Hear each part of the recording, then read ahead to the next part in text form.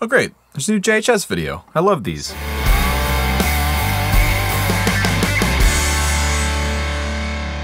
It definitely stacks amazing, and that's one of the best slide sounds ever. That is much better than Rhett Shull's slide sound. If you are a part of his channel, the crew over there, let him know. I'm calling him out. I have beat any slide tone he's ever achieved. Sick burn! What? He can't be serious. Is he really gonna call me out like that? I have a better slide sound than Josh. That's, that's ridiculous. I can't stand for this. Can't let him just say this stuff on the internet like this and not respond. Yeah, th th this is war. We've all been there before. You have a friend, someone you're close with, someone you share a mutual love of coconut water and bicycling with. And all of a sudden, this friend, someone that you trust, someone that you've shared your deepest, darkest secrets with, they, they betray you publicly. They use their platform that was built for good. It was built to educate and entertain people. And they turn this platform against you. They use it to call out your abilities. Again, I don't need to lecture you on this. We've all been here a dozen times before, but this won't go unanswered. I can't stand for this. I have to meet Josh head on. I have to fight fire with fire. So, in today's episode of the JHS, uh, the Rhett Shull Show, I'm going to play three different slide sounds, all completely different, all completely inspired, and all completely better than Josh's slide sounds, using exclusively his own gear. We're going to use his own weapon against him. We're going to fight fire with fire. So, this isn't the video I wanted to make today.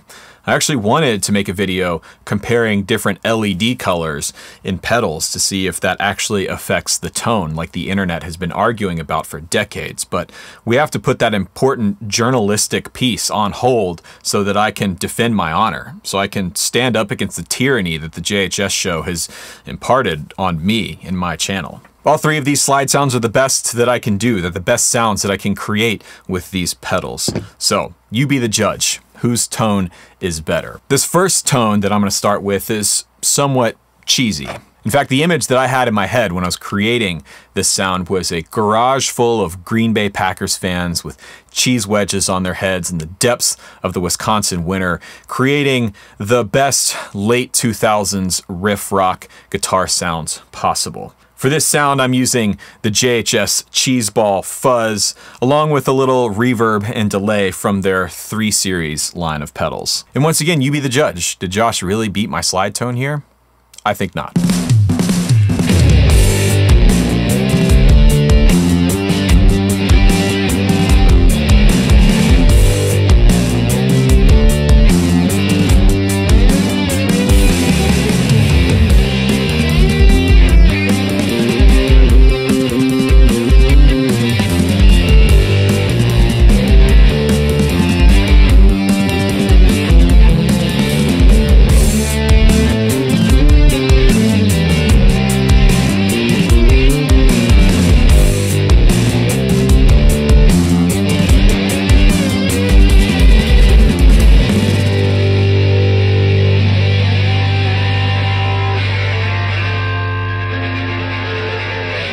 Now for this next sound, I went for something completely different. The image I pictured in my head was myself as Matthew McConaughey leading an expedition into deep space to try and rescue my lost comrades spread across our galaxy on different planets. Using a wormhole and, and fighting gravity wells and, and Einstein's theory of relativity to try and get back to my, my family at home and the struggles. It, it's almost like a, like a spaghetti western meets uh, space epic. And to pull off this epic spaghetti space western, I'm using a 3 series compressor to kind of even out my tone going into the Morning Glory and then adding some spacey reverb with the 3 series reverb. And I think I captured the ethos of the spaghetti space western.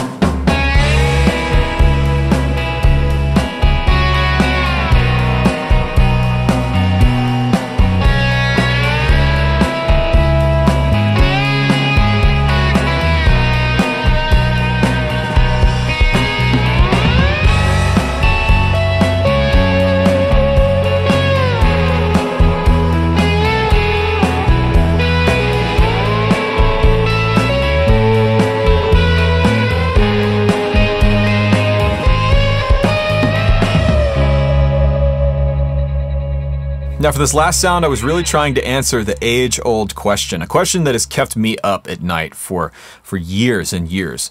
What if Muddy Waters had used an early 90s Russian Big Muff? What would he have played? How would music today be different? How would culture be different? Would the Beatles have even happened if Muddy had chosen to travel forward in time to Manhattan, New York and, and pick up this, this iconic fuzz pedal? Well, in this example, I'm trying to answer that. For this sound, I decided to use the Colour Box V2 to kind of shape the tone of my guitar going into the fuzz, which was the Crimson from the Legends of Fuzz series. And from there, I needed a little bit of slapback delay, a little bit of sauce, if you will. And I went back to the 3 series delay for that. And so this is my attempt to answer the question, what if Muddy had a big muff?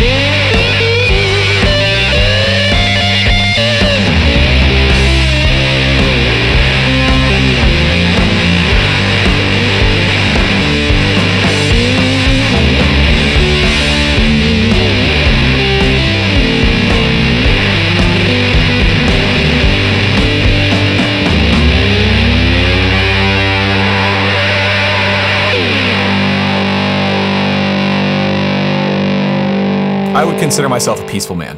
I don't like conflict. I don't like fighting, especially with friends. But when somebody betrays you like this and they, they call you out and they challenge your honor on the internet, you have to respond. And I think I did that in this video. So if you follow the JHS show on YouTube, you should go over there and let them know. You should let them know that I showed Josh once and for all that between the two of us, I have the superior slide tone. Sick. And if you don't follow the JHS show, I'll leave a nice convenient link down in the description box below where you can click through and let them know as well. But ask yourself, would you want to support someone that would betray a friend like this publicly? It's up to you. You have to make that choice for yourself. You have to make that decision and be able to sleep with yourself at night. So that's it. Thank you for watching.